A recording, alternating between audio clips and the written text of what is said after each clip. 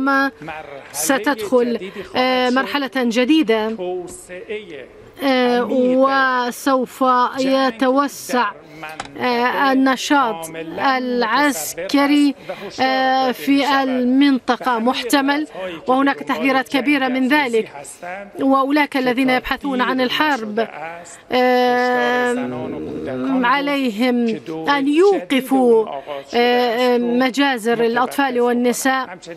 وأيضا ندعو جميع الدول الإسلامية في العالم أن يقوموا لإيقاف الحرب أن يضغطوا باتجاه أن افتتاح معبر رفح ومعبر كرم أبو سالم لإرسال الأدوية والغذاء والوقود إلى غزة ومواجهة النزوح الإجباري في غزة والضفة الغربية. في بعض الوثائق التي جاءت في عمليات طوفان الأقصى من قبل المقاومة عرضت وتم الاستيلاء عليها بعض الأجهزة الحاسوب التي قام رجال المقاومة بضبطها وإحضارها أن الكيان الصهيوني يبحث ويسعى إلى أن يقوم بتهجير أهالي غزة. إلى أقسام من مصر وأيضا القسم الآخر إلى الأردن. نحن نتمنى أن الإخوة في مصر أن يقوموا بفتح معبر رفح بشكل فوري وجدي ويمنعوا تحقيق هذه المؤامرة. الصهيونية ضد سيادة الأردن ومصر. وأيضا أريد أن أؤكد أيضا أن تشكيل المحكمة العسكرية ومحاكمة الجناة الصهاينة هو مطلب شعبي وعالمي ولأن هناك دعاوى مقدمة من بعض الدول للمحاكم الدولية ضد الكيان الصهيوني منها الجمهورية الإسلامية. وبالتنسيق مع عدد من الدول تم القيام بهذه الخطوة ونتمنى أن نشهد محاكمة الجناة الصهاينة على جرائمهم جرائم الحرب التي اقترفوها في الخمسين يوما. الماضية والتي بلغ ضحاياها ستة عشر ألف شهيد في غزة والضفة الغربية من المدنيين من النساء والأطفال. مرة أخرى الجهود البناءة لزميلي ونظيري السيد بور سعيدي وزير الخارجية العماني في هذه المسألة أشكره شكرا جزيلا الجمهورية الإسلامية لا تبحث أبدا عن توسيع رقعة الحرب ولا تسعى أبدا للتوتر في المنطقة لكنها وفيما يتعلق بالذين يشعلون فتنة الحرب في المنطقة ويبحثون عن التطهير العرقي في غزة والضفة الغربية فإنها تقدم التحذير بشكل جاد. الآن وما ما دامت الفرصة متوفرة إن أمريكا والكيان الصهيوني عليهم أن يوقفوا جرائمهم في غزة والضفة الغربية. شكرا لكم. بسم الله الرحمن الرحيم. شكرا أخي معالي الوزير الدكتور حسين أمير عبد الهيان وزير الخارجية على حسن استقبالكم المعهود لنا والوفد المرافق وكرمات والتعاون الثنائي بين البلدين وأيضا التشاور حول التطورات الإقليمية والدولية. العلاقات بين سلطنة عمان والجمهورية الإسلامية الإيرانية لا شك أنها تنمو بوتيرة جيدة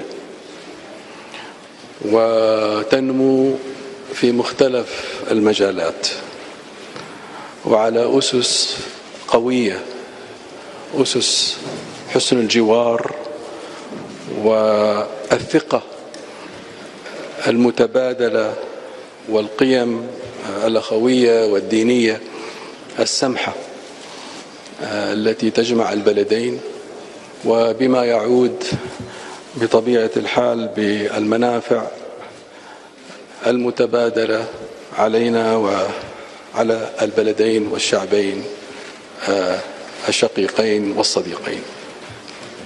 كما ذكرتم معالي الوزير ستعقد الدورة العشرين للجنة المشتركة بين البلدين هنا في طهران. وقد شهدنا بالفعل في الآونة الأخيرة تطورات إيجابية في التعاون الثنائي في مجالات عدة في المجالات التجارية والاقتصادية والسياحية وفي مجال الثقافة والتعليم. ونتطلع دائما إلى مستقبل أكثر ازدهارا للعلاقات خاصة في مجالات جديدة مثل الطاقة المتجددة وفي مجال الأمن الغذائي الأمن المائي في مجال الرعاية الصحية والدوائية. نحن متفائلين جدا بفضل توجيهات القيادة في كلا البلدين لمتابعة هذه الملفات للتعاون وستشهد إن شاء الله المرحلة المقبلة مزيد من النمو في التبادل التجاري والثقافي والاقتصادي. نحن نؤمن بأهمية التشاور المستمر والبناء بين البلدين كوسيلة من الوسائل تعزيز التفاهم المتبادل لمواجهة مجمل التحديات في المنطقة والتحديات العالمية بشكل عام. كما تفضل معالي الوزير بحثنا مستجدات الأوضاع المأساوية في فلسطين وتحديدا في قطاع غزة واستمرار العمليات العسكرية من قبل قوات الاحتلال الإسرائيلي التي تستهدف المدنيين وتستهدف المرافق العامة والمستشفيات والمدارس. ونحن ندين ونستمر في استنكار وإدانة هذا العدوان الغاشم. وخصوصا استئنافه بعد فترة الهدنة القصيرة التي شهدناها كما نود أن نغتنم الفرصة للتجديد التحية لصمود الشعب الفلسطيني وتضحياته النفيسة التي يقدمها وصلواتنا للشهداء الذين هم أحياء عند ربهم يرزقون.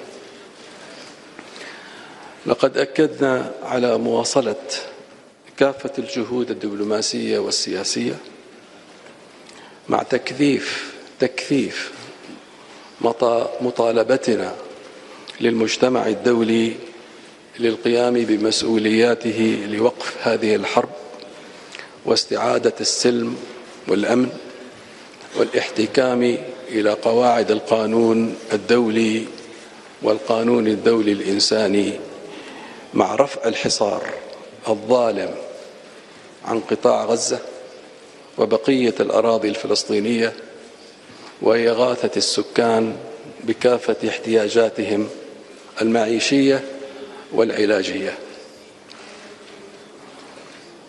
الأزمة هذه تتطلب جهود دولية متواصلة ومتضافرة. ونحن في سلطنة عمان نؤكد على أهمية هذا الحراك الهادف في آخر المطاف إلى إحلال السلام والاستقرار.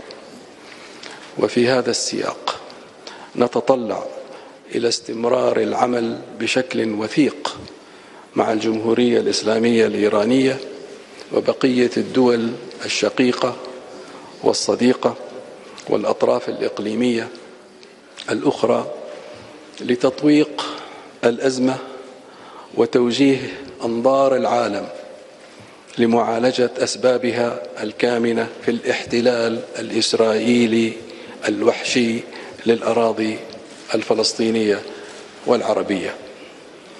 فلا يمكن على الإطلاق لا يمكن على الإطلاق تحقيق الأمن والاستقرار إلا بإنهاء هذا الاحتلال وقيام الدولة الفلسطينية المستقلة. وفقا لقرارات الشرعية الدولية والقانون الدولي. وكل ذلك من أجل تحقيق العدالة وما يمليه الضمير الإنساني وكافة القيم والأخلاق الدينية والإنسانية. شكرا معالي الوزير. مرة أخرى على استضافتكم لنا هذا المساء. وشكرا للأخوة والأخوات من الإعلام من الإعلاميين المتواجدين.